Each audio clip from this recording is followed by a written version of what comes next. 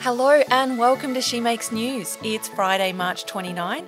I'm your host, Kimberly Finesse, and this is your weekly wrap up for regional women in Australia. Before we begin, I would like to dedicate this episode to Britt Abraham from Unlax Candles. In fact, I could dedicate the first three episodes to Britt, who each week would comment on our Instagram posts with news and events that made the show. Britt is an incredible loss to every single community she's been a part of. The message behind Unlax Candles is taking care of yourself when navigating the difficult journey we call grief, and reminding us that everyone's journey of grief may look different, but we are never alone. I think we're all being reminded of that right now. Now, for our first story. It's what everyone in the flower industry is talking about after the Melbourne International Flower and Garden Show last week. During the mammoth packdown of the five day event, Alan Douglas from Botany Florist filmed the waste left over from just one display. That Instagram reel has had almost 53,000 views and sparked a lively discussion around the proper disposal of flowers and sundries what I saw during bump out was something that's incredibly common in the industry, nothing new. The use of non recyclable materials like foam, you know, single use plastics, and then, yeah, getting confused about what goes in what bin and what the waste streams look like. None of that is a discovery. You know, that's that's all something that I knew was happening already. And I just thought this is a great opportunity to talk about it in a nice open space in the hopes that, you know, people see it and be like, oh, hang on a sec, I do that. Oh, maybe I shouldn't be doing that.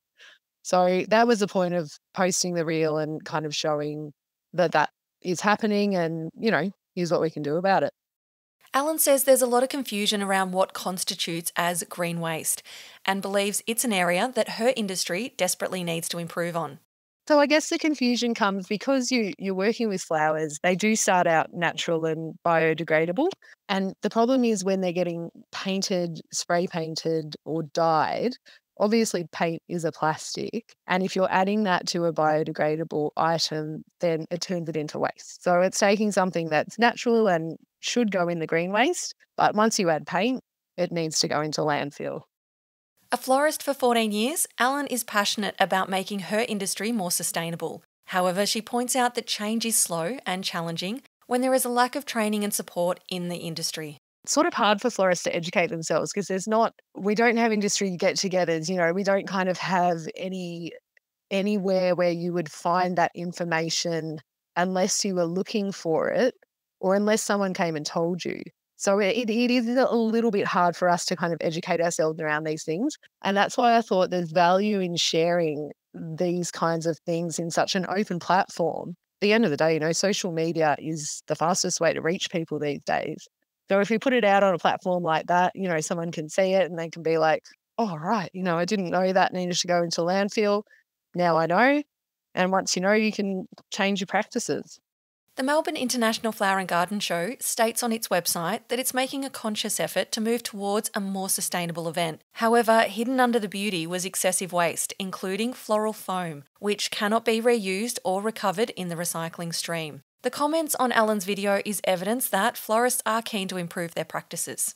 When you read the post, it's about the waste of our industry and learning about correct waste streams. Yes, I got the footage at the Melbourne Flower and Garden Show, but it's an example of something that's so commonplace. I'm really proud of people for having a constructive conversation around it. Like a few of the comments are like, oh my God, you know, that's terrible. But the people that actually took the time to sort of write something are like, you know, yes, I struggle with this too. And yeah, you know, we do need to do something about it. Alan says the industry produce a similar pile of floral foam at events and weddings every weekend. She urges consumers to have the conversation with their florist and ask for more sustainable options. You know, if sustainability and reducing waste is something that's important to a couple, then they can ask their florist if they can work with them um, to try and make the wedding kind of as waste free as possible. Even if you have a florist that does use foam, questions like, well, can you do our wedding without foam? I'm sure any florist would be happy to work with you and do that. Alan teamed up with fellow advocates for locally grown flowers, grown not flown, to create a display in celebration of Victorian grown and seasonal flowers. Their foam free floral design at the Flower and Garden Show won bronze. Alan says the show provides an opportunity for the industry to teach the public about local versus imported flowers, with around 50% of the flowers sold in Australia grown overseas. Yeah, so the Melbourne International Flower and Garden Show, as you say, it's a, the biggest show of its kind in Australia. It's the most public facing event that we have for our industry. So to be able to put locally grown and seasonal flowers on display like that and create a design that taught the public about local versus imported flowers was so important. And it was such a great opportunity to start that conversation about, oh, you know, when I buy flowers, what am I buying? Where do they come from? Is it important to me? You know, what do seasonal flowers look like? I think, yeah, it was a really good opportunity to do that. This week, South Australia announced its winner of the AgriFutures Rural Women's Award. Nikki Atkinson has taken the top honour for promoting the merino wool industry through her sustainable wedding dress and special occasions brand, Horrocks Vale Collections. This is just incredible because I've actually seen what it has done to the likes of other rural women and how it's escalated their businesses and their passions. So I'm really excited to be able to elevate my brand and my two passions and also bring um, awareness to the brand. So I think this is absolutely priceless. I mean, the interviews that I've done so far, people are like, wool wedding dresses? Really? Like, yeah. So it's just been really excited. Nikki has won a $15,000 grant from Westpac, which she will use to see more couples say yes to a wool dress both here in Australia and in the UK? I am employing a PR company and I want them to put me in front of the right audiences and also in, in the right platforms because we're talking weddings. So it's lovely that I get followers and people that want to follow my journey, but I'm selling wedding dresses, so I need to be in front of the right audience. And I think that is really hard and because it's such a niche. Um, and I'm hoping that they can also introduce me to influencers um, because influence is a massive thing in fashion now. So, um, and to be the right influencers so that I can create and grow this brand that's what I want to do with part of it. And then the other part, this is really taking me out of my comfort zone, but I am actually going off to Harrogate in England and flying the woolly flag uh, for Horrocksvale Collections in Australian Merino Wool at a expo in August, early August, um, and hoping to get wholesale clients internationally um, so that you can see Horrocks collections in the bright lights of New York City and Paris and Dubai, and yeah, just in that different space. Nikki sold her bridal boutique in Adelaide to marry her wool grazier husband and moved to the family property in the Flinders Ranges. She is on a mission to champion fine merino wool as an innovative and sustainable alternative. I've always known that wool is an amazing fibre, and I've always known that in a wedding dress it would be perfect. And in fact, when people see my dresses, they have no idea they're wool because they just look like any other dress.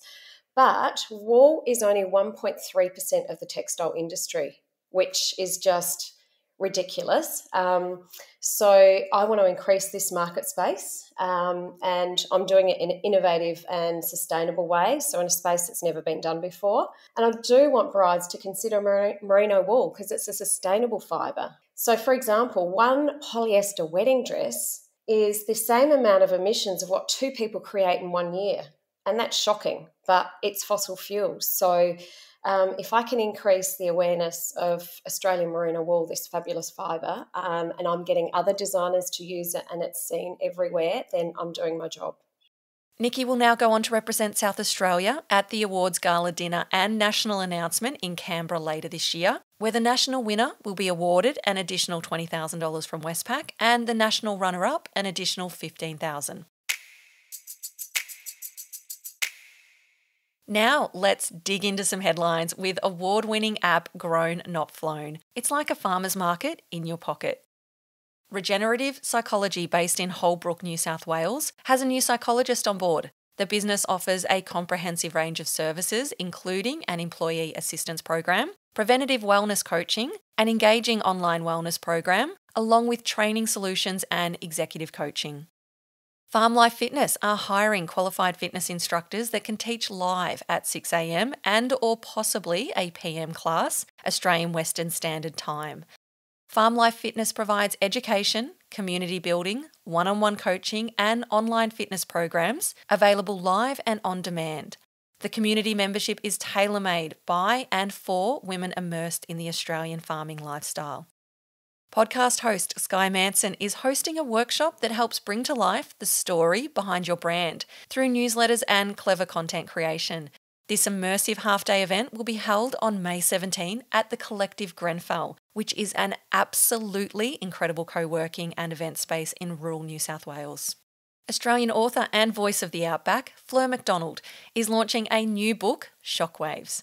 The suspense novel will be available on April 3. Fleur has sold over 850,000 copies of her books, and when she's not writing, she is loving the rural lifestyle on more than 4,000 hectares in Western Australia. Mandy Walker has been named the winner of the 2024 Western Australian AgriFutures Rural Women's Award. Mandy, who co owns Walker's Diesel Services, has developed a game changing business model for other wheatbelt engineering enterprises. And still with the Rural Women's Award, New South Wales ACT have announced their finalists being Rebecca Keeley, Rae Knopik, and Ruby Riethmuller. And finally, Handmade Canberra is on April 6 and 7. You will find a lot of rural and regional businesses making the trek to the capital of Australia.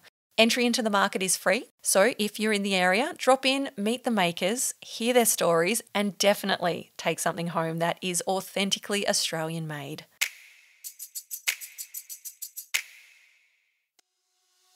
That's your weekly wrap up for Regional Women. You'll find links in our show notes for anything that has been mentioned. The show will now be on a break over the school holidays because, well, for kids. if you'd like to hear your news, share it with us on Instagram at She Makes News or via email shemakesnews at gmail.com. Now, go and share this with a friend or give us a five star rating, whatever it takes to share our news even further with regional and rural Australia.